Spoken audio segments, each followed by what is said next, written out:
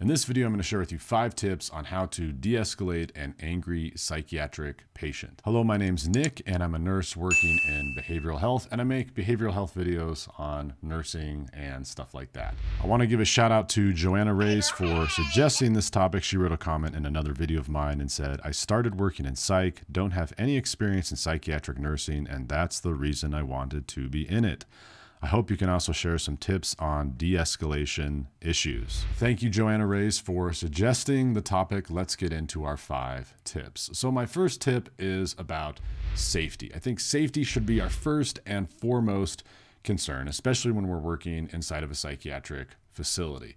So, if you have a patient who's very mad. They're fumingly mad, right? They're spitting as they're talking. Their speech is very pressured. They're red in the face. The first thing I would suggest is make sure it's kind of a safe environment. So if they're acting this way and they're out in the middle of the day hall, the first thing we need to do is clear the day hall. So we just say something like, all right, the day hall is now closed. Everyone, please go back to your room and just we're going to repeat it till everyone does. And more often than not what people will do the patients will go back to their rooms and the patient who is fumingly mad is just going to stand there and continue to be fumingly mad. After we've cleared the day hall what we've essentially done is we have isolated the patient right? So now at least we know that the other patients aren't near so the other patients can't get hurt. And then at this point, we can bring more staff if we need to when we feel like it's safe to approach the patient. My second tip on de escalating a patient is you need to fight fire with water. So we're going to be the water. They're going to be the fire. They're the person who's really mad. And what we need to do is be the opposite of how they're presenting. So someone who's super upset, right? Think about the way they they talk. They're talking really really fast. Sometimes their speech is going to be garbled and disorganized because they're so fumingly mad. And they're going to be red in the face and they're going to be posturing and they're going to be gesturing really quickly. So when we approach, we need to do the opposite. We've got to be very calm. We're going to speak very slowly.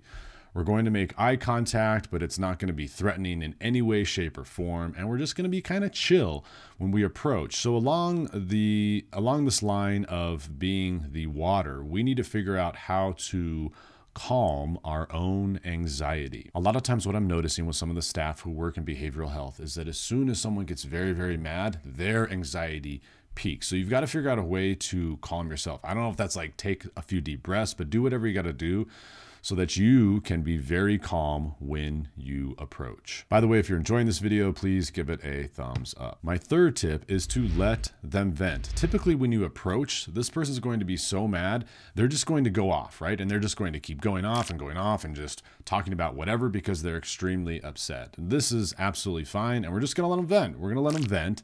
And then finally, when they sort of have maybe given us an opportunity to speak, that's when we'll speak. So tip number four is to validate their feelings, right? So they're really upset.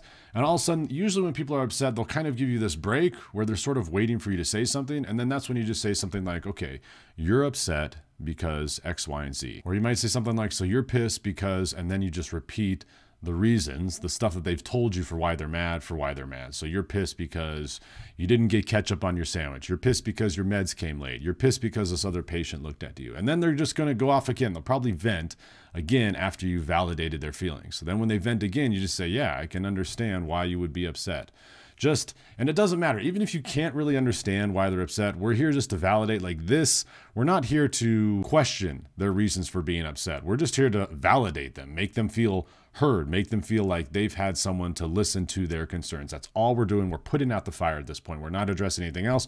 We're putting out the fire. And I would sit here with tip number four, validating their feelings. I would sit here for however long you need to sit there for before you notice them start to calm down. Then what's naturally going to happen is after you've validated them several times and just really listened and not said anything and just been chill, calm, and relaxed, and you've made healthy eye contact with them, then we move on to our last tip, which is to ask them the important open-ended questions that you were taught in nursing school. So I'll just give you some questions I like to use when we've got to this point in the conversation. I might say something like, Mike, when you're usually feeling this way, when you're when you're really upset, what helps calm you down? Another good question might be, you know, given that you're really upset, what do you what do you need from us right now? How can we help you? You know, you seem really upset and I want to hear more about what's going on. How would you feel about going for a walk out in the courtyard? We'll walk together, we can walk and talk. And obviously, you'll only ask that question if you feel safe walking with that patient and being alone with that patient. All right, so those are our five tips for de escalating someone. Our first tip was safety,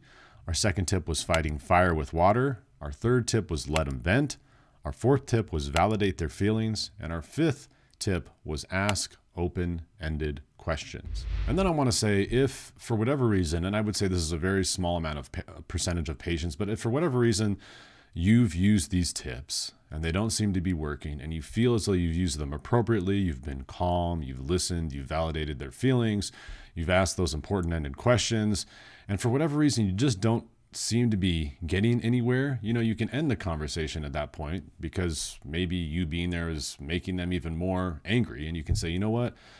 Um, Mike, I'm going to leave this conversation. I want to thank you for having the courage to share with me your feelings. Right now, I feel you need a little bit of space. So I'm going to walk back to the nurse's station. If you feel like talking, let me know. You might say something like that. I don't know. However, you feel like you need to end the conversation. Sometimes just walking away, straight up walking away, if you don't feel like the tips are working, then just, I would say the next best thing to do is just walk away and give them space. And that's assuming that they're not really being a danger to themselves, a danger to others, or anything like that. All right, I hope you found those tips helpful. If you've enjoyed this video, please make sure to like it. And then if you have a something you want me to talk about in another video, please leave it in the comment below and I'll make a video about it.